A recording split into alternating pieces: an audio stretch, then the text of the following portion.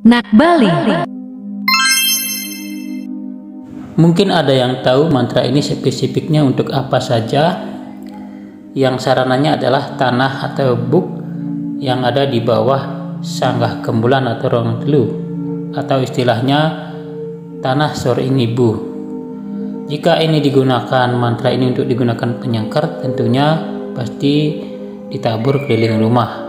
Dan jika untuk pengobatan atau pelindung diri biasanya dibasmakan digidat Siapa tahu ada yang mengerti atau paham, disimpan di sini, siapa tahu nanti berguna.